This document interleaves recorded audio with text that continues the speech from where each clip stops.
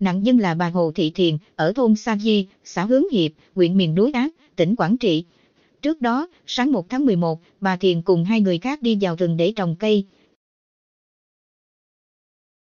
Khi đi ngang một con suối ở xã Cam Tuyền, huyện Cam Lộ, cả ba người bị dòng lũ chảy xiết cuốn trôi. Hai người khác đắp vào một bụi cây được mọi người cứu sống, riêng bà Thiền bị mất tích. Khu vực suối nạn nhân bị dòng nước cuốn trôi hôm 1 tháng 11.